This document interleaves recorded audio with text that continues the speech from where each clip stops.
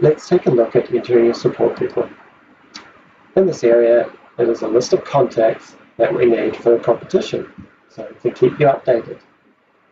This may include officials contacts, coach contacts, or team manager or other type roles.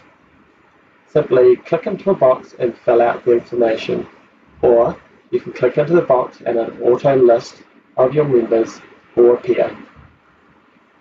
Note that if there's a star beside the contact, this is a required field of the competition. If there is no star, then this is an optional field.